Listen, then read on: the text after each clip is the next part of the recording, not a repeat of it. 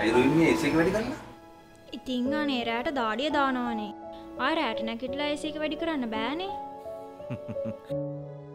රැට දාඩිය කියලා AC එක වැඩි කරනවා. පස්සේ සීතල කියලා පොරව ගන්නවා.